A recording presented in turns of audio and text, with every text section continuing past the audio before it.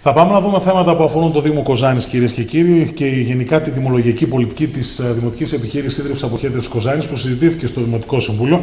Έχουμε στο δελτίο ειδήσεων της τηλεόρασης του West τον επικεφαλή της Ελλάσσομο Αντιπολίτευσης του Δημοτικού Συμβουλίου Κοζάνης, τον κύριο Γιάννη Δελιγιάννη.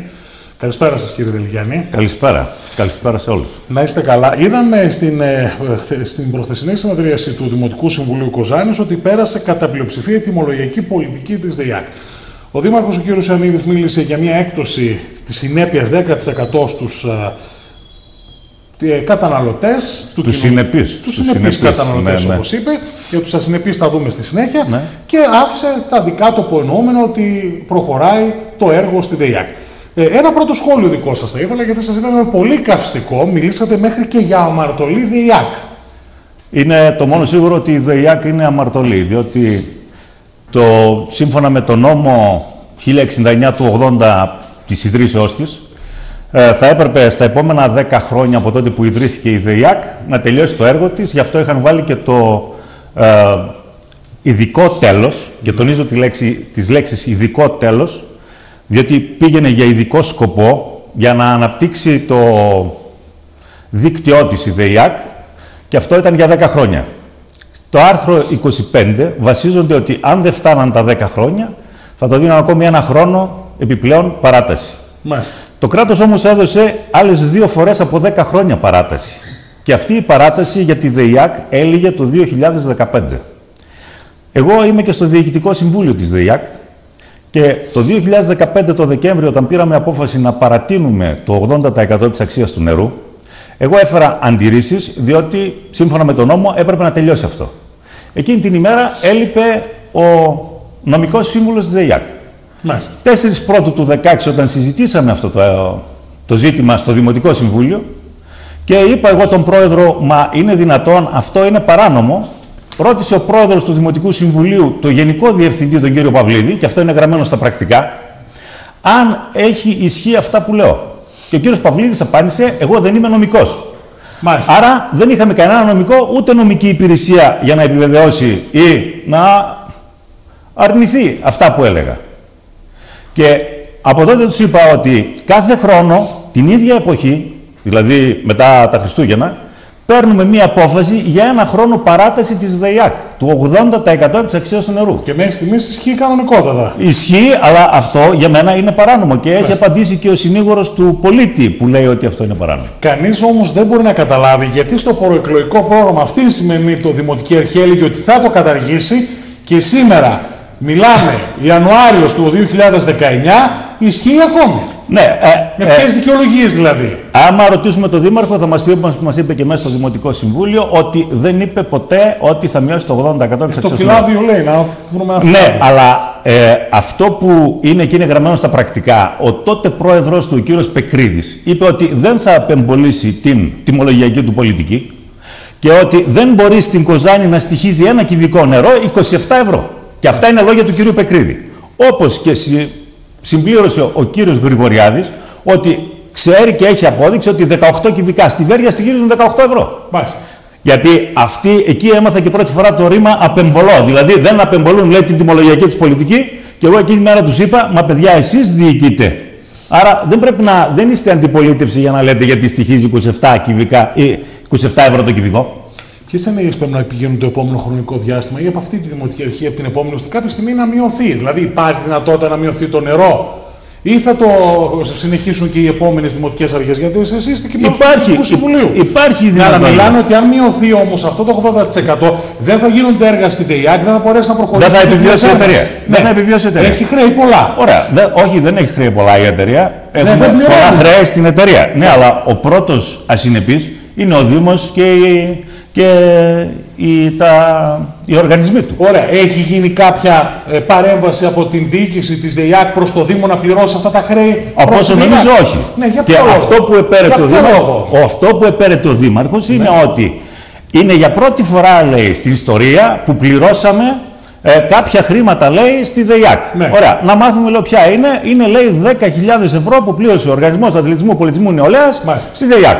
Πόσα χρωστάει, ρε παιδιά; Πόσο χρωστάει, Πόσο χρωστάει, πόσο χρωστάει, μα δεν ξέρω λέει. Εγώ ξέρω, λέω, λέω είναι 2 εκατομμύρια. Όχι, λέει δεν είναι 2, είναι 1. Άρα ξέρουμε ότι χρωστάει 1. Άρα πώς μιλάμε για επιβίωση της εταιρείας; Δηλαδή, όταν ο, ίδιος Δήμος δεν πληρώνει. είναι ο πρώτος που είναι ο ασυνεπής. Εσείς, επειδή είστε στο Διοικητικό Συμβούλιο, ε, πόσα είναι τα χρέη προς τη ΔΕΙΑΚ, από τρίτους φορείς, από. από από Όχι, αυτά πολίτες; μπορούμε να τα δούμε, τα γράψανε και στις εφημερίδες. Όταν ήταν ο κύριος Πεκρίδης έλεγε για 16 εκατομμύρια και όταν ήρθε ο κύριος Δημητριάδης πήγε στα 27 Πληρώνει εκατομμύρια. ο κόσμος, πληρώνουν, πληρώνουν οι φορείς. Πώς τα βλέπετε; Αυτό που λένε και είναι πολύ βασικό και ε, το έχουν διαπιστώσει το 2008 είναι ότι το 62% του νερού Ναι.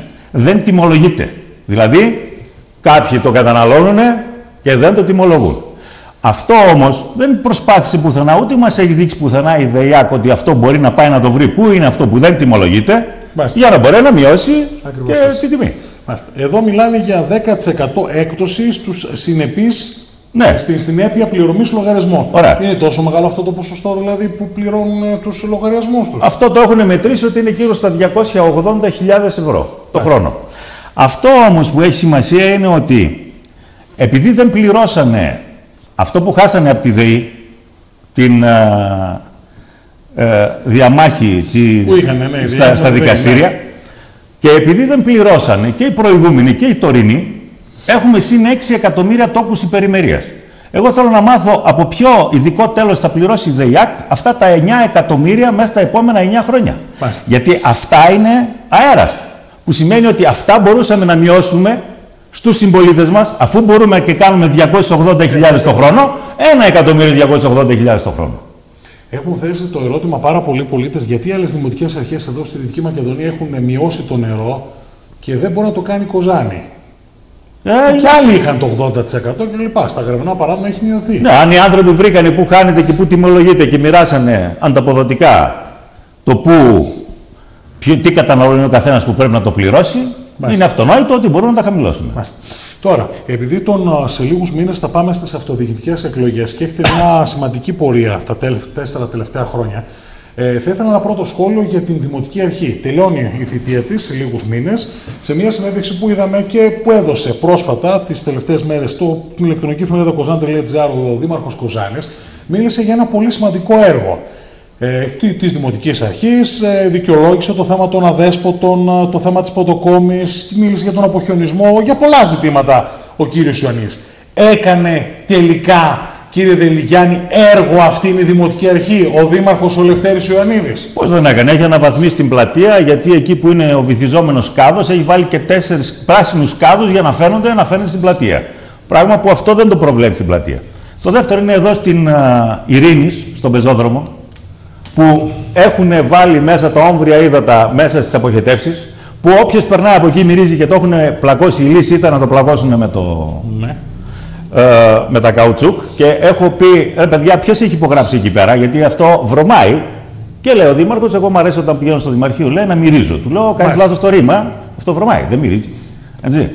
Ε, το άλλο είναι ότι όλοι αυτοί οι κάδοι που κάθε Παρασκευή γεμίζουν των απορριμμάτων, έτσι, είναι πολύ μικροί. Το έχω κάνει παρατήρηση πριν δύο χρόνια στο Δημοτικό Συμβούλιο. Είπαν θα αλλάξουν στο προπερασμένο καλοκαίρι και ακόμα αλλάζουν. Αυτά είναι από τα έργα. Τα άλλα μπορούμε να δούμε για τα αδέσποτα, τα οποία έχουν.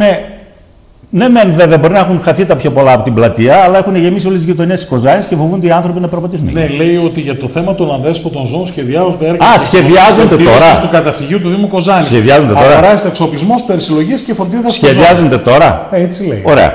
Ναι, αλλά το 3 Ιουλίου, αν θυμάμαι καλά, του 2012 και είναι γραμμένο στα πρακτικά, είχε πει ότι χρειάζονται 4 με 5 χρόνια για να λυθεί το πρόβλημα των αδέσποτων.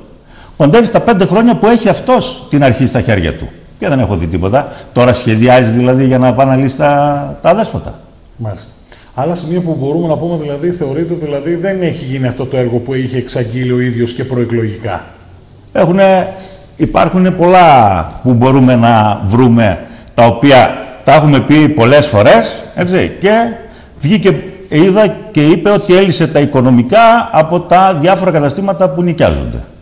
Αυτά οι οφειλές, τις οποίες εγώ παρακαλούσα και είναι γραμμένα στα πρακτικά στο Δημοτικό Συμβούλιο, επί τρία χρόνια να τα φέρουν στο Δημοτικό Συμβούλιο. Δεν κάναν καμία έξωση και υπήρχαν άτομα τα οποία, να μην πω όνομα, από το Δελιγιάννη, χρωστούσε 80.000 όταν ανέλαβε ο Δήμαρχος και τώρα χρωστάει 170.000. Είναι λύση αυτών των προβλημάτων; Μάλιστα. Και αυτά είναι γραμμένα. Ακριβώς. Τώρα, ε, πώς σχολιάζετε τη στάση τους στη Συμφωνία των Πρεσπών. Και σε δηλώσεις του που έχει πει και το καλοκαίρι ήταν απόν από τα συλλαλητήρια, τον κατηγόρησαν ότι δεν άναψε ούτε τα φώτα του Δημαρχείου. Ε, έχει μια αρνητική στάση, είναι υπέρ της συμφωνίας ε, των ε, Πρεσπών και λέει ότι δεν μας εξέλεξε ο λαός της Κοζάνης για να συμμετέχουμε στην εξωτερική πολιτική, αλλά να δείχνουμε το δημοτικό μας έργο. Ο καθένας μπορεί και λέει τις απόψεις του και για αυτές κάθεται απέναντι και τις αντιμετωπίζει.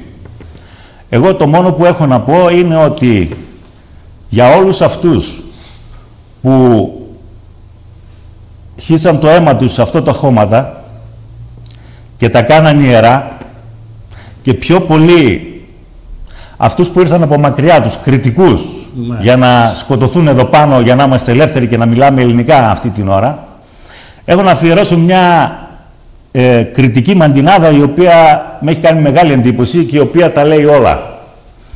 Λέει, λαός που την παράδοση ξεχνά και δεν θυμάται, στο λίθαργο του μαρασμού παντοτινά κοιμάται. Θα πρέπει να κοιτάξουμε να μην κοιμηθούμε μέσα σε αυτό το λίθαργο. Μάλιστα. Θα δούμε πώς θα είναι οι επόμενες κινήσεις. Τώρα, να πάμε λίγο στις εκλογές της αυτοδιοίκησης. Βλέπουμε ότι το τελευταίο διάστημα ε, ξέρουμε ότι από ό,τι φαίνεται δεν θα είστε υποψήφιο στις εκλογές του Μαΐου για τις αυτοδιοικητικές.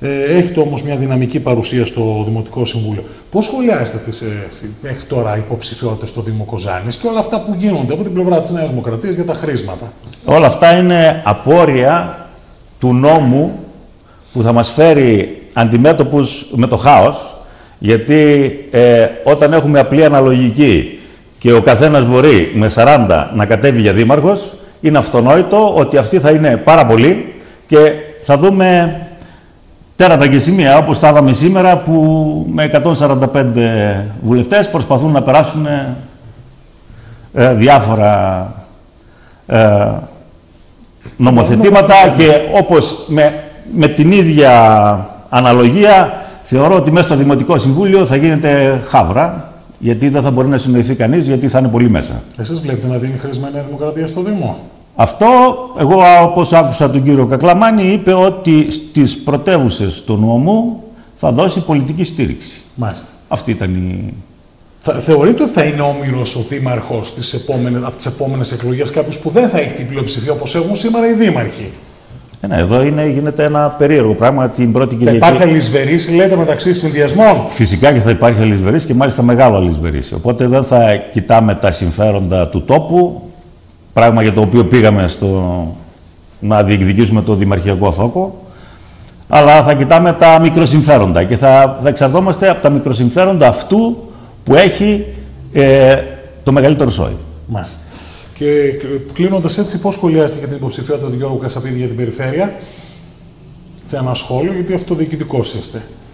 Ναι, ο Γιώργος είναι, έχει, είναι η,